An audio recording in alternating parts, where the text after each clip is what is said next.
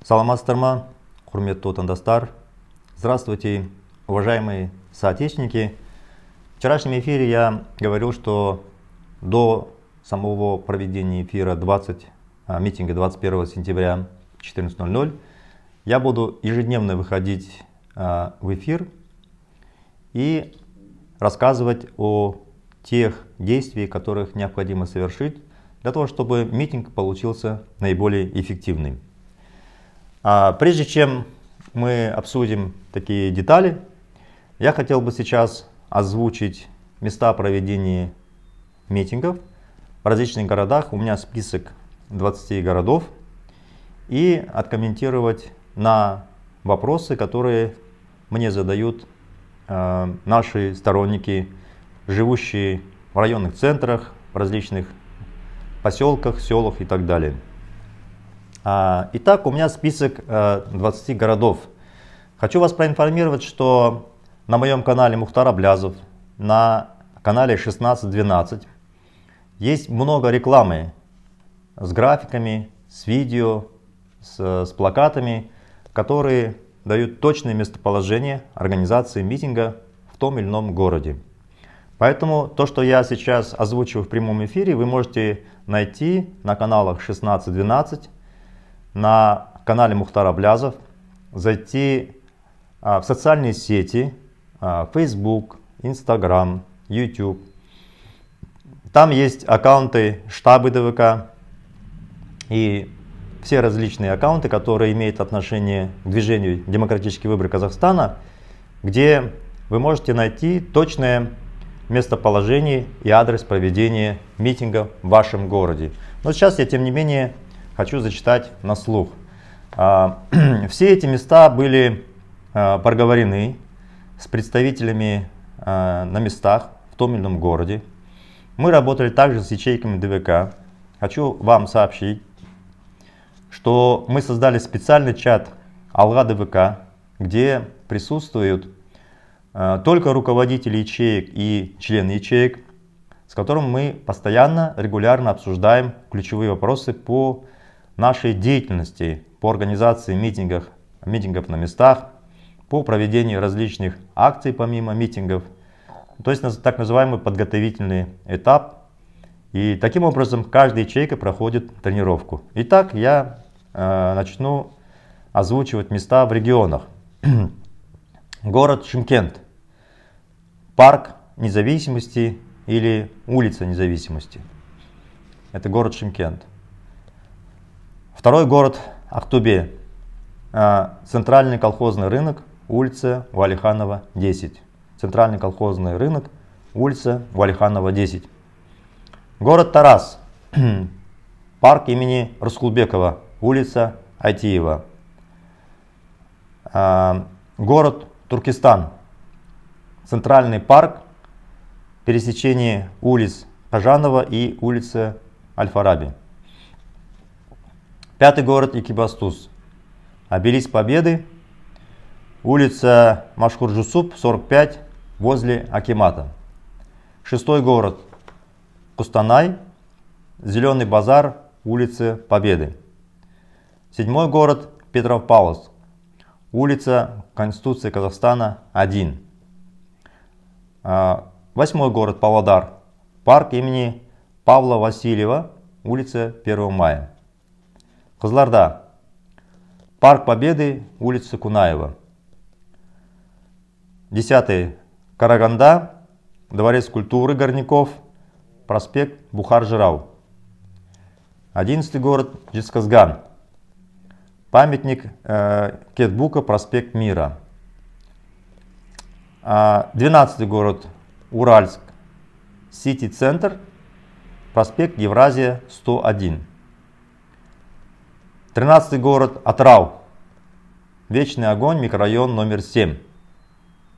А, извиняюсь, э, я неправильно сказал. Э, торговый центр, центр Атрау. Э, Байзар, улица Кулманова, 111А. Еще раз повторяю, Атрау. Торговый центр Байзар, улица Кулманова, 111А. 14 город Ахтау. Вечный огонь, микрорайон номер 7. Ахтау, Вечный огонь, микрорайон номер 7. 15 город Талдыкурган. Зеленый базар, улица Дарабозана. Темиртау, 16 город. Площадь Гагарина, бульвар независимости. Еще раз повторяю, Тимиртау, площадь Гагарина, бульвар независимости. 17 город, город Жанаузень, Тәуелсіздік алаңы, это площадь независимости. 18 а, семей, сквер Победы, улица э, Каима Мухаммедханова, 97 семей. 19 Усть-Камягорск, дворец спорта, проспект Абая. 20 Кокшетау, площадь независимости, улица Абая, 69. Мы озвучили 20 городов страны. Они не все областные центры, это достаточно крупные города, э, которых где-то около 100 и выше тысяч человек проживает. Эти города находятся рядом с различными районными центрами, крупнонаселенными пунктами. Поэтому э, все те, кто хотят провести митинг 21 сентября и проживающие в населенных пунктах небольших, районных центрах, они могут провести такого рода митинги около своих акиматов. В случае, если э, сторонников вы не можете набрать достаточное количество, если у вас есть возможность, мы предлагаем вам э, приехать в эти ближайшие города. Э, здесь очень важно теперь обсудить, как мы должны организовывать митинги, чтобы они действительно были эффективными. Вы по опыту предыдущих митингов знаете, когда а, люди, идущие на митинг, опаздывают, кто на 15 минут, кто на 20 минут, а, получается так, что у полиции есть возможность, они ставят автозак, и вот такими небольшими партиями людей задерживает, и получается, что полиция, обладая многократно меньшей численностью, может управиться с такой проблемой, когда сотни тысяч людей не одновременно идут к месту проведения митинга. 6 июля на самом деле э, на митингах как в Астане, так и в Алмате было очень много людей. И не меньше, чем 9 июня, когда, э, собственно, власть объявила, что задержали на, по обвинению в участии э, в несанкционированном митинге около 5000 человек. Ну вы представляете, да? То есть это как минимум было несколько десятков тысяч человек в двух городах, и власти просто захлебнулись, задерживая вот такое количество людей. Но если бы протестанты все одновременно, точно указанное время, начали а, приближаться к месту организации митинга, то есть там неожиданно все быстро начали появляться, то понятно, что у полиции не хватило бы возможности задерживать такое, такое количество людей, которые одномоментно а, появляются месту проведения митинга. То есть у них ни сил, ни возможностей, ничего бы не было. Поэтому очень важно не опаздывать, чтобы мы таким образом могли спокойно провести митинг. А, что нужно делать? Значит, первое, а, нужно не опаздывать ровно 14.00 по местному времени прийти к месту проведения митинга практически одномоментно. При этом не надо никого ждать. Прошлый опыт митинга 6 июля показывал, что мы проговорили и обозначили определенное время. Какая-то часть людей собиралась, зная, что подойдут еще люди. Они ждали, ждали, ждали э, какие-то 30 минут. И таким образом митинг точно установленное время не прошел, а полиция получила возможность мелкими группами рассеивать и задерживать людей. Затем они их сажали в автобус, отвозили э, к себе в отделение, там их выпускали, и люди, понятно, не возвращались. То есть мы такую возможность полиции не должны давать. Еще была ошибка, когда люди сидели на скамейках или прятались вблизи места проведения митинга у дворов. Опять же, они сидели э, небольшими группами по 2-3 человека и таким образом представляли собой легкую добычу для полиции, которые их вытесняли с этих мест или без объяснения каких-либо причин задерживали. То есть такой подход, конечно, не способствует проведению именно серьезного, сильного митинга, не дает возможность людям осуществлять коллективные действия, совместно защищаться, совместно стоять плечом к плечу на митинге, скандировать наши требования. И получается опять малыми силами полиция может помешать, препятствовать проведению митинга. Что нужно делать? Необходимо выбирать крупные проспекты, улицы, старать, стараться максимально близко подъехать на общественном транспорте к месту проведения митинга. Нам уже сообщили, что в ряде городов службы получили поручение от акиматов, чтобы сократить количество общественного транспорта и таким образом препятствовать скоплению большого количества людей именно на тех участках, где мы заявили о организации митингов. Поэтому э, нужно э, максимально приблизиться к месту проведения митинга, четко рассчитав, что именно в 2 часа по местному времени днем вы будете находиться в указанном месте. А, теперь следующий важный момент по активности. Очень важно быть активным, потому что именно активные люди формируют за собой команды. Именно активность делает наши действия более эффективными. А, и те активные люди, которые ясно понимают, что делают, получают максимальную поддержку от людей. В случае, если таких активных людей полиция пытается каким-то образом нейтрализовать, именно они защищаются большим количеством людей. И, то есть ваша активность это ваша защита. И вы становитесь менее уязвимыми, и именно вас полиция не сможет быстро сделать а, неактивным, нейтрализовать. То есть активность это очень важно. И все те, кто старается быть незамеченными, то есть ну, показывают свой страх, именно они становятся легкой добычей полиции, потому что полиция понимает, люди, которые там сидят, они хотят быть незамеченными, они боятся.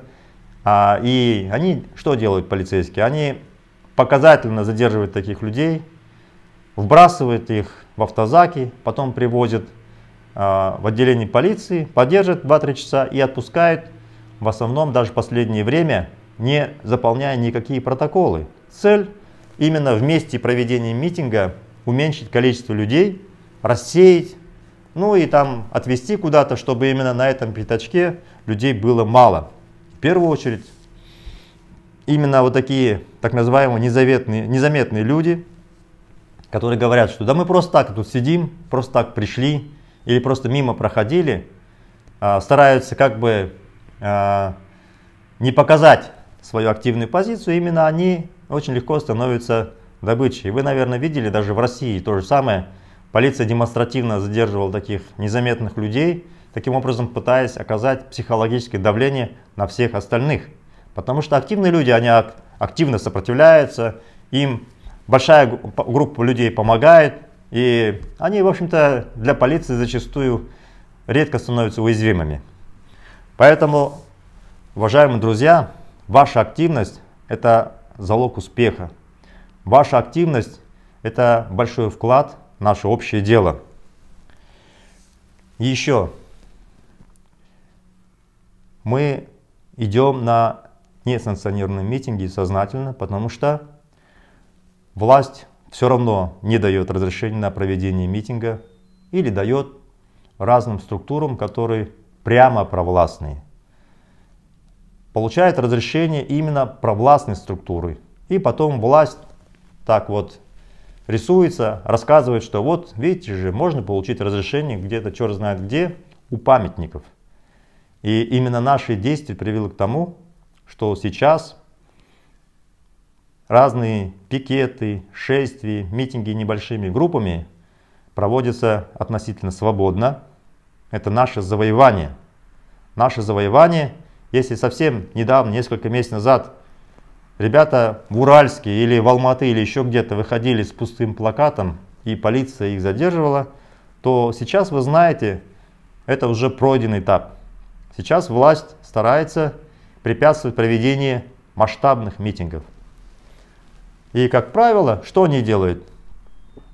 Вот 4 сентября прошли различные митинги. Они не были чтобы масштабными, большими, но тем не менее география достаточно широкая была. В Жаназене, в в Алматы, в Астане, Шимкенте и ряде других городов.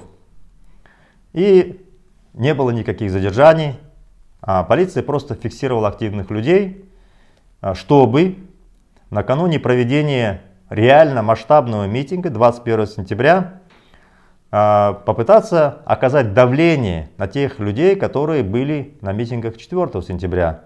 Мы сейчас видим, что специально задерживают людей, привозят полицию, пытаются у них взять заверение, что они не будут участвовать на, ми на митингах 21 сентября. А, некоторых людей задержали, притом интересно, на самом деле, если это административные претензии, административные задержания, вообще как а по нашему законодательству они не могут их предъявлять через две недели. Есть определенный срок. Если они их зафиксировали, если они считают, что есть какие-то административные нарушения, это буквально несколько дней, когда должен быть заполнен протокол. А, этот протокол должен быть передан в суд. А в нашем случае мы видим, что полиция прямо нарушает действующее законодательство, а суды просто подмахивают и стараются людей закрыть на несколько суток или больше, на 10 суток, а, как административный арест, якобы за нарушение а, правил проведения различных общественных акций и митингов. Так вот, еще раз говорю, мы уже часть свобод завоевали. Именно благодаря тому, что мы ориентируемся на различные международные договора, которые подписал Казахстан, которые стоят выше внутренних законов, выше Конституции нашей страны. Более того, в Конституции четко прописано, что международные договора, подписанные Казахстаном, по своему статусу стоят выше, чем законы внутри страны. И Казахстан обязан их исполнять. А международные договора гласят, что у наших граждан право на проведение митингов, шествий и все прочее безусловное. Притом не нужно получать никаких разрешений у местных органов власти. Нам достаточно уведомить. Мы уведомили публично, уведомили, дали адреса. Вот, собственно, я и сегодня тоже это делаю. Поэтому дело местных властей обеспечить порядок, обеспечить возможность проведения наших митингов по всей стране. Я уверен, что вот такими действиями, когда мы не будем выпрашивать наши права и свободы, мы шаг за шагом добьемся выполнения всех наших требований и выполнения тех подписанных договоров, которые когда-то Казахстан подписал, и они действуют. И сейчас, я только вчера говорил, представители Министерства иностранных дел за рубежом, Европарламенте и других международных организациях заявляют, что у нас все поменялось, что люди свободно выходят на митинги, на шествия, никто их не преследует, что якобы Такаев создал некий НСОТ, который будет строить взаимоотношения с обществом. Якобы там есть эксперты, известные люди. Но, как вы понимаете, их слова уже в тот же день или на, как минимум на следующий день ничего не стоят. Потому что как только они эти заявления сделали, буквально на следующий день они начали предъявлять претензии людям, которые участвовали на митингах и шествиях 4 сентября. Но это делается специально в преддверии митингов 21 сентября, которые мы объявили по всей стране. Ну и обратите внимание, что делает еще власть. Власть накануне митингов пытается как бы запугать людей, рассказывает о нехороший Аблязов, который сидит в Париже, нехорошая Жанна Бота, которая э, работает в Киеве, в Украине, что вот мы сейчас их экстрадируем, что вот по Жанне Бота, оказывается, уже больше года э, работаем и вот-вот добьемся, чтобы вы понимали, что их результаты нулевые. Что касается возможно моей экстрадиции, этот вопрос уже закрыт навсегда. Потому что есть решение высшего суда Франции, которое не может нарушить никто, включая президента Франции. А экстрадиция ни в страны так называемые, ни России, ни Казахстан, ни Украина, наши страны невозможно, потому что Высший суд Франции вынес вердикт, что все это преследование носит политический характер, что я являюсь оппонентом режима Нусултана Назарбаева, и все дела, которые сфабрикованы Казахстаном, они по сути являются мотивом для политического преследования. Поэтому сегодня я знаю в парламенте, в Мажилисе, а было очередное заявление, что вот мы там будем его во Франции судить. Я уже здесь а, скоро три года будет, как вышел из тюрьмы по запросу по экстрадиции России. И до этого была Украина. Так что, уважаемые друзья, вы должны понимать, это очередной рекламный ролик, ролик беспомощности со стороны власти, попытка запугать и сказать, что вот мы против него там, там что-то сделали здесь. Да, это и происходит, есть слежка, а, возможно, конечно, нападение на меня, но последствия будут немедленными. То есть Казахстан это, как я говорил, карликовая экономика, и активы самого Назарбаева и его приближенных держатся в таких странах, которые, безусловно, применят немедленные санкции, все будет арестовано, и они будут не просто невыездными, это будет удар по экономике такой силы, что, по сути, приведет к краху, экономическому краху со всеми вытекающими последствиями. Миллион людей просто выйдут на улицы, потому что масштаб санкций, которые будут применены Казахстану, страна у нас не потянет. России очень сложно, но Казахстан и Россия, здесь санкции будут пожестче. И поэтому сейчас Казахстан выстраивает механизм преследования. Они подают разные иски, фабрикуют разные уголовные дела против меня в разных странах.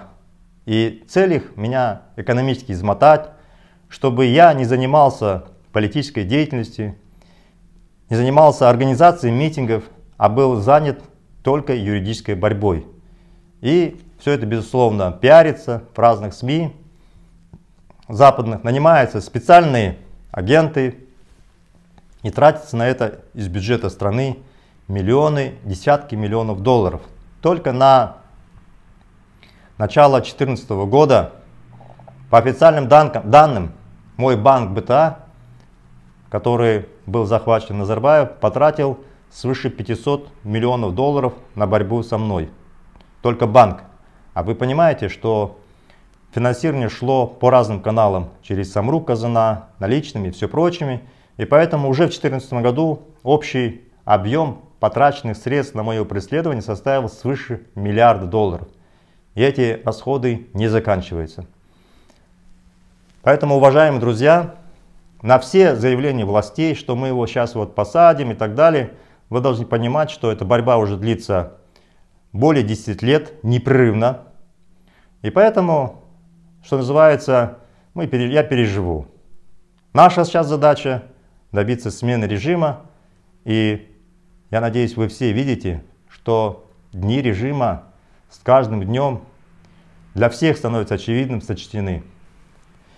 И еще, уважаемые друзья, по митингу. Необходимо на этих митингах, безусловно, быть подготовленными. Нужно знать, что говорить народу на этих митингах, как отвечать полицейским, которые будут подходить и предъявлять какие-то претензии. Нужно четко знать, как отстаивать свои права, знать, как вы будете действовать. Просьба к активистам, чтобы на митинге они пришли а, с различными микрофонами, мегафонами. Таких технических средств достаточно много сейчас. И важно проявлять взаимовыручку. Не стоять с телефоном в стороне и снимать. Именно оказывать поддержку, взаимовыручку, группироваться, объединяться. И вы понимаете, когда вы объединены большой массой сторонников, полиция вас не сможет забросить в автозак.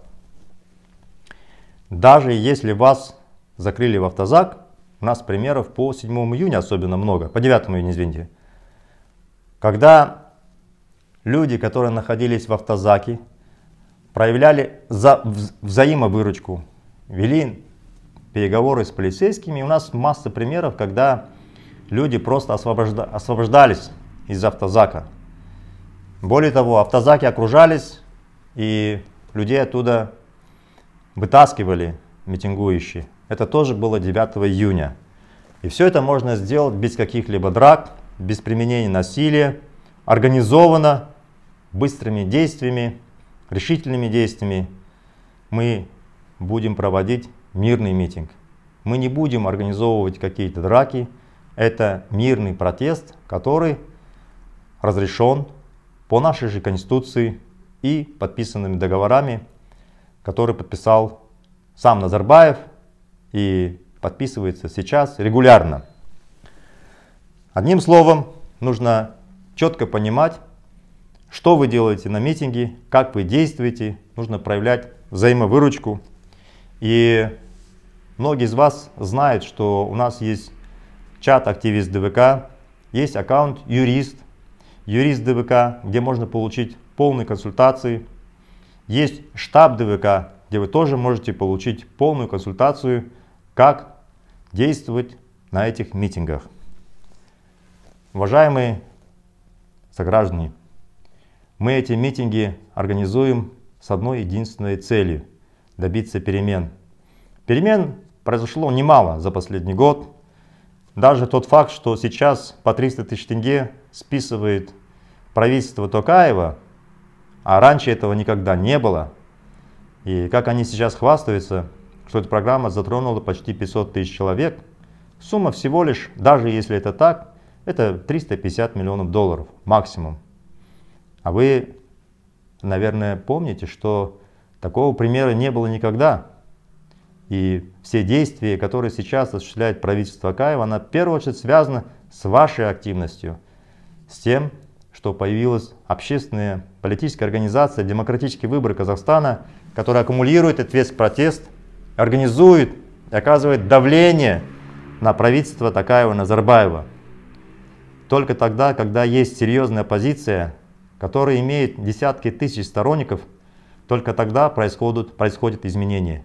Сейчас наша цель добиться перемен, добиться полной смены режима Нурсултана Назарбаева. Мы себе говорим, именно режим Нурсултана Назарбаева и он сам лично является причиной всех бед, которые сейчас есть в нашей стране. Мы говорим «шал душпан». Душпан – это враг. Шал біздің душпанымыз, он наш враг. И мы хотим мирными методами на этих митингах добиться смены режима, добиться демонтажа этой авторитарной системы, построить парламентскую республику без должности президента. Все ваши действия направлены именно на эти действия, на то, чтобы мы могли сменить политический режим. На этот митинг вы, ходите, вы выходите не ради Мухтара Блязова, или еще кого-то. Вы выходите ради себя, ради своей семьи, ради будущего нашей страны. И поэтому все, что вы делаете, вы делаете вклад в себя, свою страну, свое будущее. В первую очередь именно так это обстоит дело. И поэтому, когда кто-то начинает рассказывать, что вы не должны менять страну, не должны выходить на митинги, вы знаете, что своими пассивными действиями, своим молчанием вы продлеваете жизнь этого режима. Вы должны знать, что каждый год минимум 30 миллиардов долларов входит в карман политической верхушки. Это размер годового бюджета страны, республиканского бюджета. Представляете масштаб? То есть финансируется бюджет страны на 30 миллиардов долларов и такой же объем уходит в их карманы. И мы, конечно же, когда добьемся смены режима, мы все эти средства направим для наших граждан. Они будут перераспределены. И ваша жизнь изменится немедленно. Поэтому эти митинги – залог нашего общего будущего. Не одного какого-то человека, нашего будущего. Вы все прекрасно знаете, что этот режим сейчас запугивает, штрафует, задерживает, сажает на 10-15 суток и так далее. Вы знаете, что у нас существует программа демократического выбора Казахстана, самые разные, не только экономические, но программы компенсации. Я сейчас хотел бы вам напомнить, что все те, кто участвовал в этих митингах, подвергся штрафам. После того, как мы добьемся смены режима, Каждый из тех, кто пострадал, получит компенсацию не менее 1 миллиона тенге. Все те, кто участвовал в победном митинге, который привел к смене политического режима Нусултана Назарбаева, получит каждый компенсацию в размере 10 тысяч долларов США. Я уже говорил, что даже если выйдет миллион человек – Сумма составит всего лишь 10 миллиардов долларов США. Золотовалютные резервы страны составляют не менее 90 миллиардов долларов США. Каждый год в карманы верхушки политической уходит не менее 30 миллиардов долларов США, поэтому мы без проблем сможем выплатить сумму хоть для одного миллиона человек. Но для победы, для того, чтобы мы добились и сменили режим, достаточно от полумиллиона до 1 миллиона человек, которые одномоментно выйдут по всей стране. Поэтому, уважаемые друзья, вы должны знать, что правительство демократических выборов Казахстана разработало компенсационные механизмы всем тем, кто пострадал или пострадает от действий режима. Поэтому, уважаемые друзья, мы призываем вас 21 сентября в 14 часов прийти, прийти на митинг, добиться перемен. И чем больше нас будет выходить на эти митинги, тем больше усилий мы на это дело тратим, тем быстрее пройдут перемены. Вы должны знать, что 21 сентября в субботу в России тоже организовываются массовые митинги. Это Международный день мира, Международный день ООН. Чтобы вы понимали, это международный праздник. И российская оппозиция проводит марши протеста. Вот так совпало, что 21 сентября митинги протеста проходят как в Казахстане, так и России. Мы ждем вас 21 сентября в 14.00 не опаздывайте, будьте активными, вы строите будущее свое и своей страны. Алга Казахстан!